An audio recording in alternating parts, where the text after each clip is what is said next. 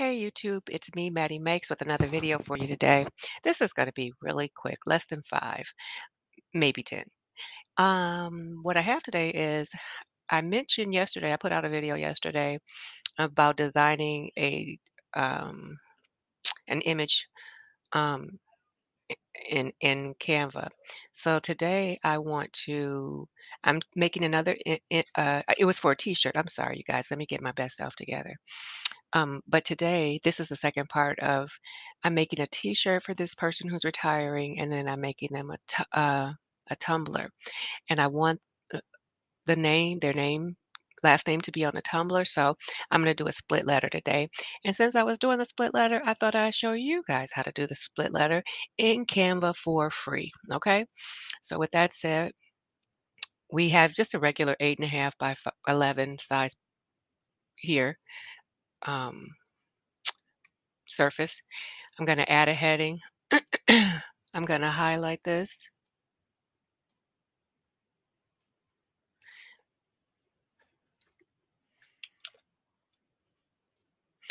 And I'm going to make it a J. Their last name starts with a J. And I'm going to click on get rid of the A. So here.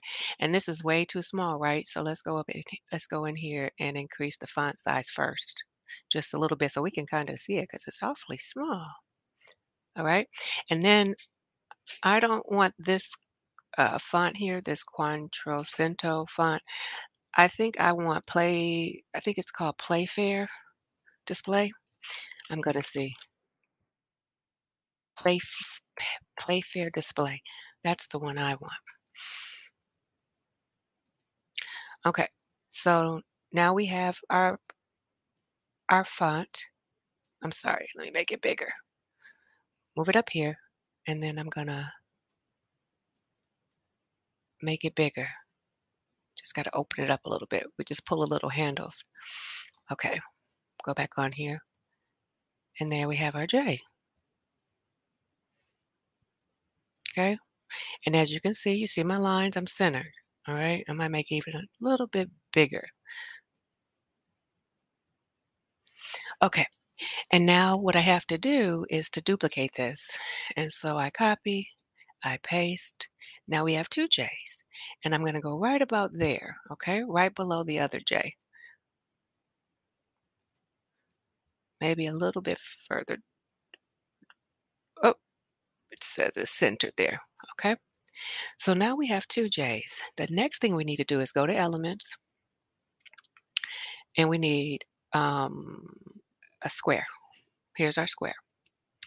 And what we're going to do, the square needs to be the same background as your paper, okay? My paper is white. We're going to make the square white. Okay. And then when we do that, notice how we get the split effect, right? Isn't that cool, you guys? Okay. The next thing that I need to do is add some more text because now we have to explain what this J is, right? So we're going to go over here and we're going to uh, go to text and we're going to add a heading.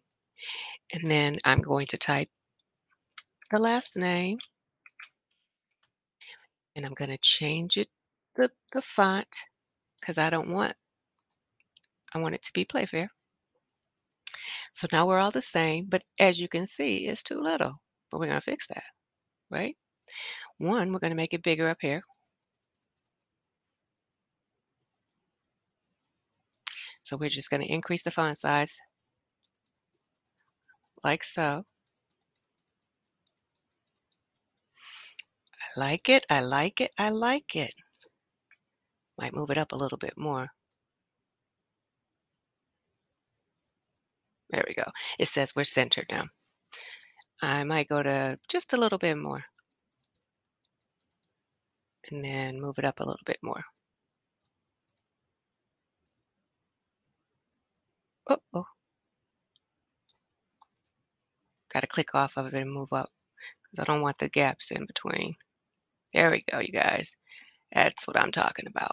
And then even if we want to spread the, the letters out a little bit more, you can do that up here. do letter spacing, and you see how it makes it expand. And now we have our um, our split letter. This is what we're going to put on I'm going to put it on the tumbler. Okay? All right, YouTube. If you like the video, please remember to give it a thumbs up. Of course, you know that helps. And if you like the things on my channel, please subscribe. Until next time, my friends.